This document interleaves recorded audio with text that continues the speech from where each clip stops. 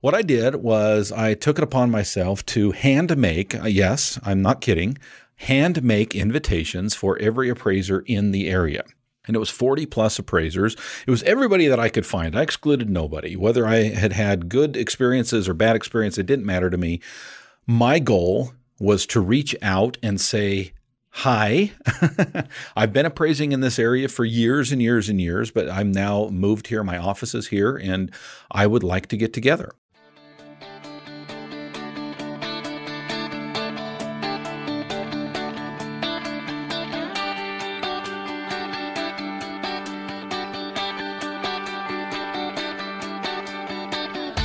Originating from deep inside the Rocky Mountains transported through the power of the internet and arriving inside your tiny earbuds. It's the Appraiser Coach Podcast. Minisode. Minisode. Minisode. Okay, appraisers, I want to know what is it that keeps you from getting out of your cave and saying hi and shaking hands with other appraisers. I don't get it. I don't get it.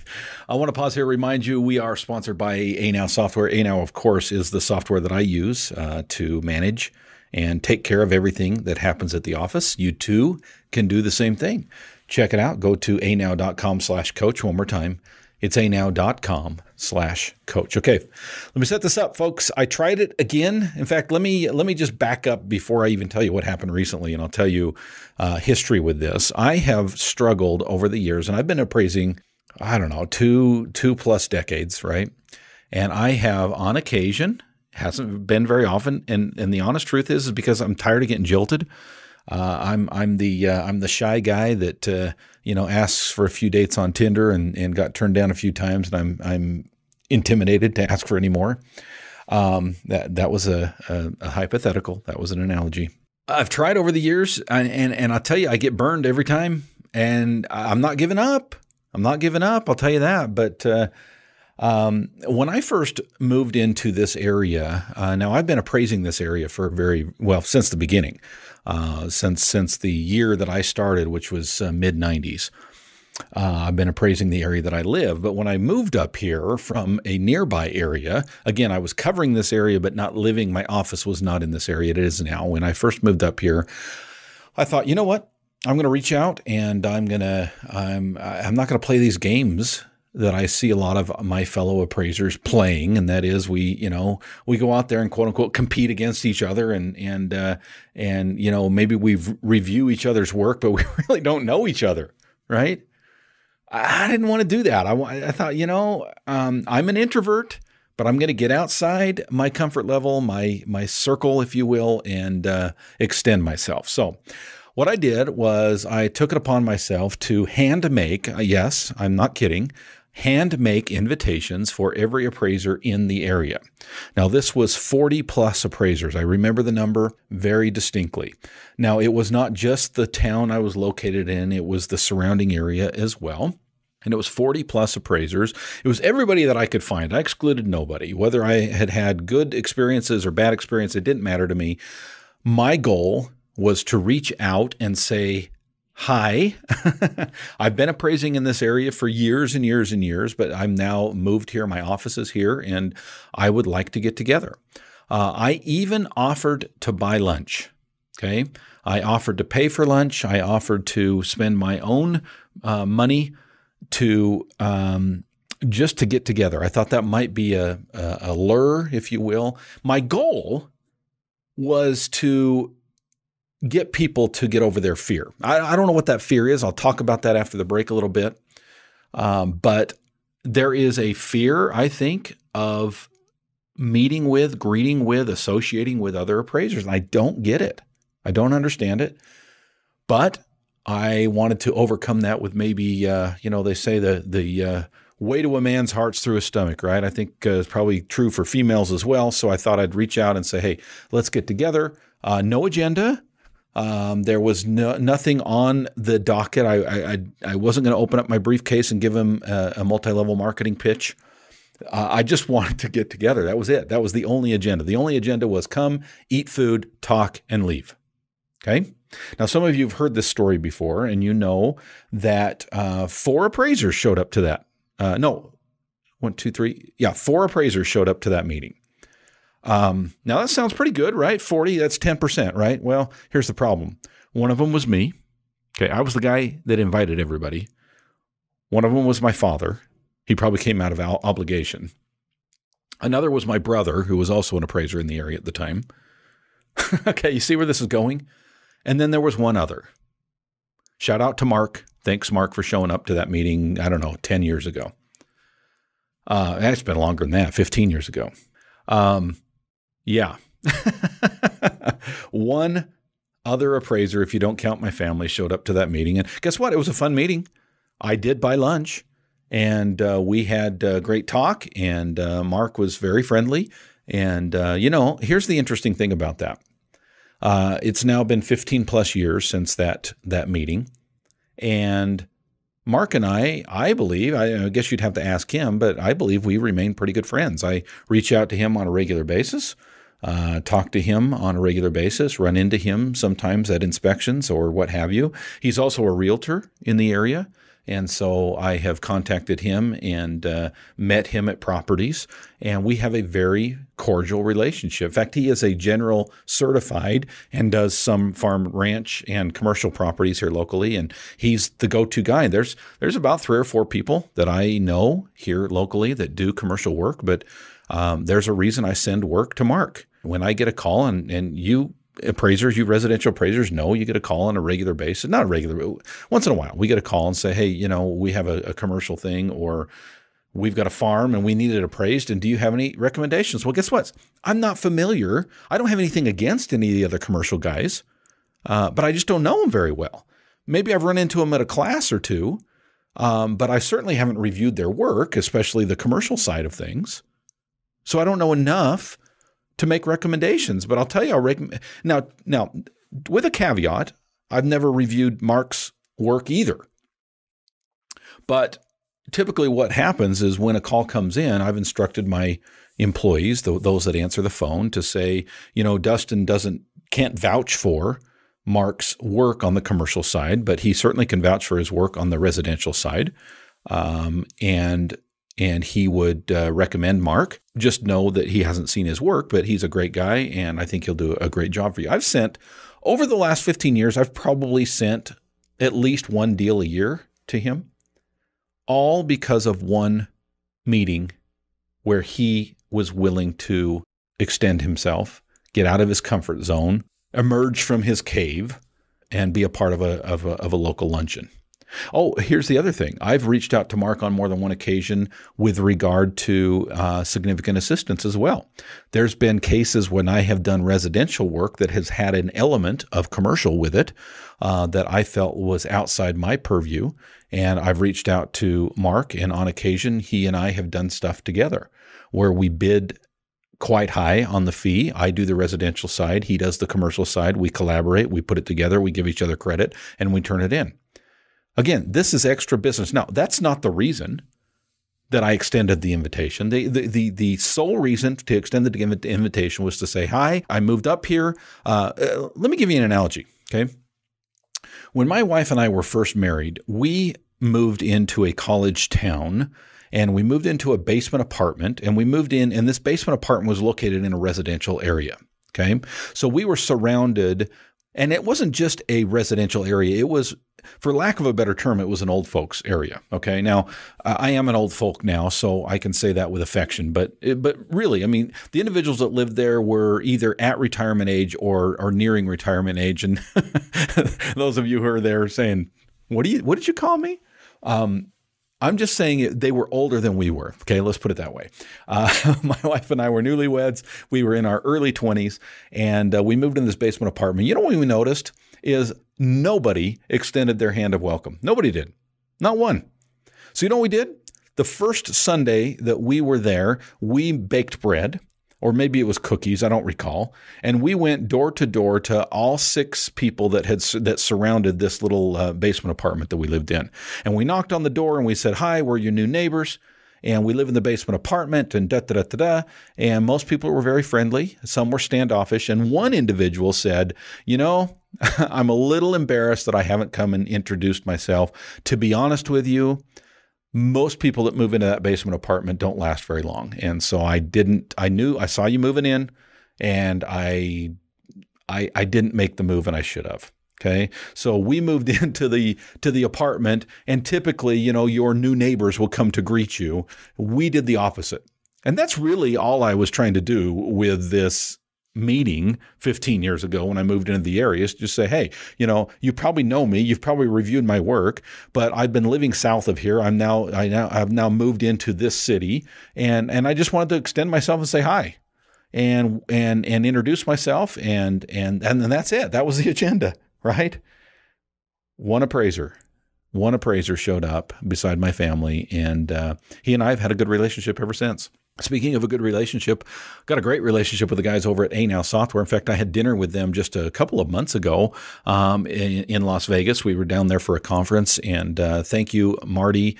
Thank you, uh, Keith. Thank you, Greg. Thanks others at Anow. It was a it was a fabulous time to get to know some of of their users of their product and some of their colleagues and their peers. Uh, these guys really do love appraising. They really do love valuation please keep in mind that Anow software was not created by some computer geek, right? This was created by appraisers, uh, specifically Marty.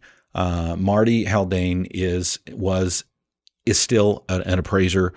Wanted to find software that would manage everything in his appraisal office and couldn't find it. So guess what? He created it and it is fabulous. It will do the job you need done because he has the insight that an appraiser should have. How do you run a business? He designed the software around that. It is absolutely incredible. Save you so much time, so much time every single week running your business. Check them out. Go to anow.com slash coach. One more time. It's anow.com slash coach.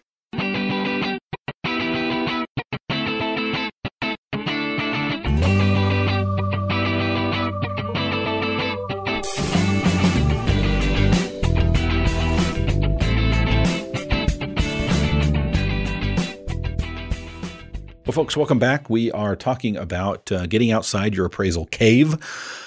And uh, had an experience uh, this week, in fact, yesterday. I had an experience yesterday that uh, I guess it shouldn't come as a surprise, but it did. And basically, it was the same thing. I thought, you know, it's time. It's been a while since I introduced reintroduce myself to my local appraisers.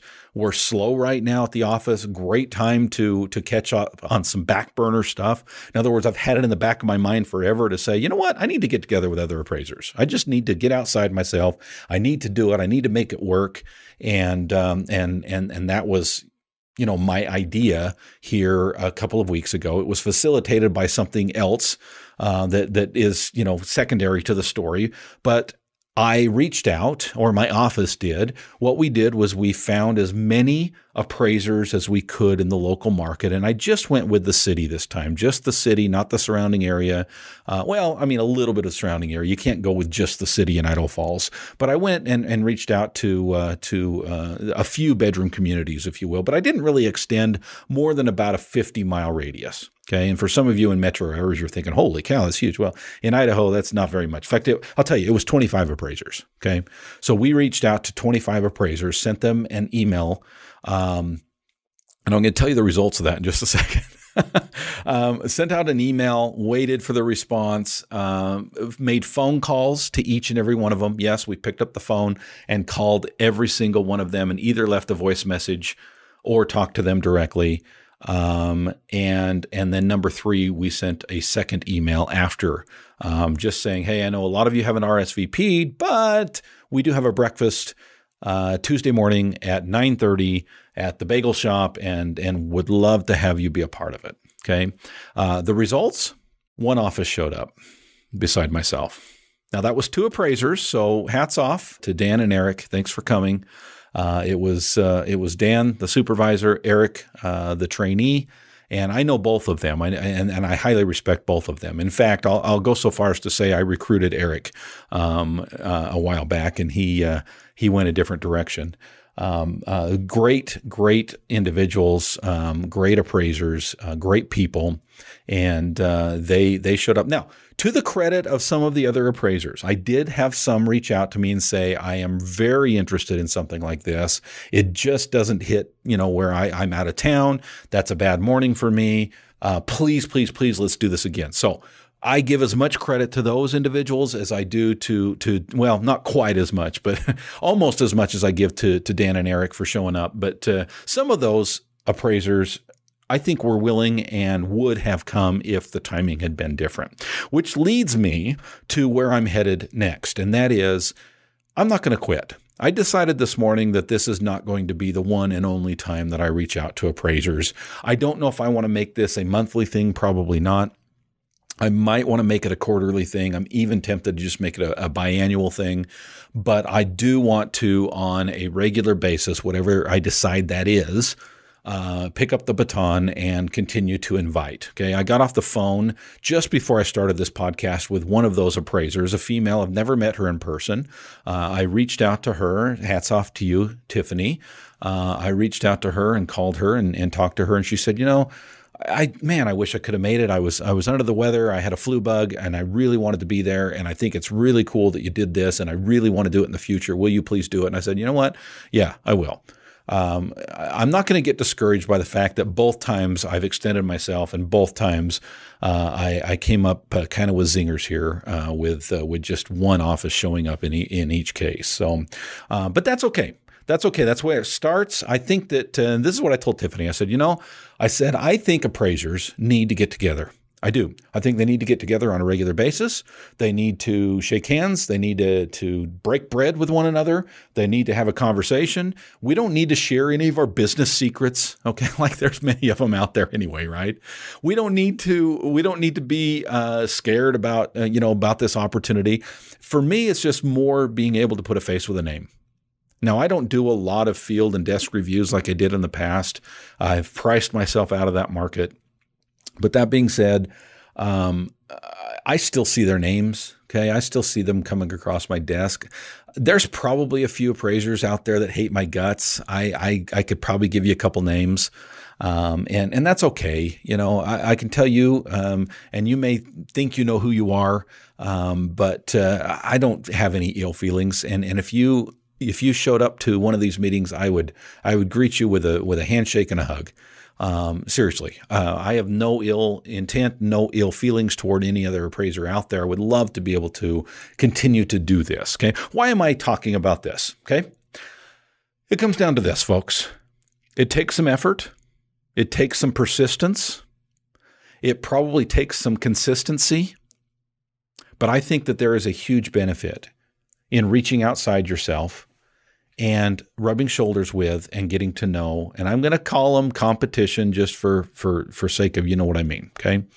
Um, but i don't see it that way. I really don't. You know we each have our niches. We each have our things that we're good at and and uh, and that we present to our customers and our clients. And i just don't see it as as some people do. Maybe i'm naive um, but to me it's not about competition. It's about camaraderie. It's about reaching outside yourself. So here's my challenge, listeners. Here's my challenge. Okay. In 2019, would you take on this challenge? Here's my call to action, if you will. Okay. Will you will you plan one of these events, at least one in 2019, where you reach outside yourself, you get outside your appraiser cave, you ask others to do the same, and that we meet around the campfire? Will you do that in your local market? Okay. I get a chance to meet with appraisers all the time across the country uh, on video, on telephone, and in person. But I'm talking about your local, your local jokels, okay? Your local friends, your local colleagues. Will you reach outside yourself, make it happen, get outside your appraiser cave in 2019? Speaking of getting outside your appraiser cave, have you heard of the Appraiser Academy? You can stay inside your appraiser cave and associate with other appraisers at the same time, folks. The Appraiser Academy is an opportunity every single month to be able to meet with other appraisers on the computer live. Okay, this is key. This is live, it's interactive. You have a speaker, you have a microphone, you have a video, and you're able to interact live with other appraisers, myself included, every single month as we share experiences, as we share problems, as we share fears, as we share hopes, as we share our dreams, uh, as we share our visions and our goals and our questions. And we help answer those questions and help you to get from where you are to where you need to be. I hope you'll join us. Check us out. Go to theappraisercoach.com slash memberships. Again, it's theappraisercoach.com slash memberships.